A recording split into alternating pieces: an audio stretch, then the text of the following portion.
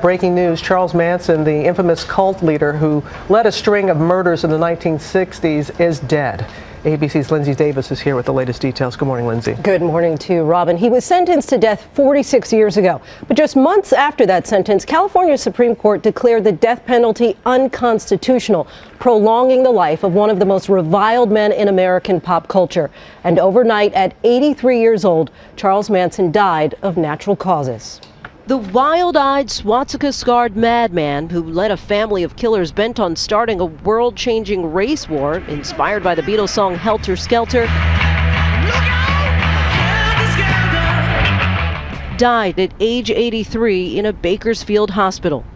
Is Charlie Manson crazy? Whatever that means. Sure, he's crazy as mad as a hatter. Charles Manson, the evil mastermind behind the 1969 murder spree that took the lives of seven people.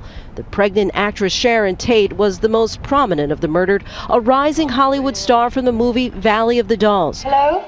Also killed wealthy supermarket owners Leno and Rosemary LaBianca. Manson never admitted to ordering the killings, and in this interview with Diane Sawyer, put the blame on his band of followers. I never told anybody to do anything other than what they wanted to do. And if they wanted to do murder, that was okay that was with none you? of my business, woman. I'm a convict. I'm an outlaw. I'm a rebel. I'm not a Sunday school teacher. Manson's 1970 murder trial was a circus. He called himself Jesus Christ and was convicted of murder along with four of his followers.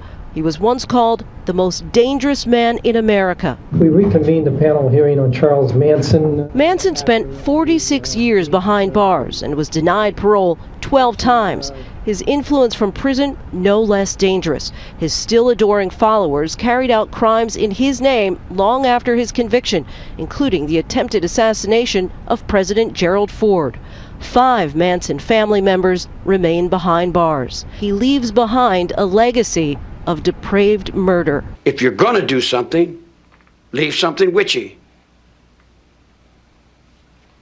Just like I would tell you, if you're gonna do something, do it well. And leave something witchy. Leave a sign to let the world know that you were there.